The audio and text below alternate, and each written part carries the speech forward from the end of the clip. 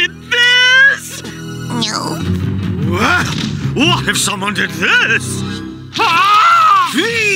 one. The Wattle is here! Later, kid. I'm busy.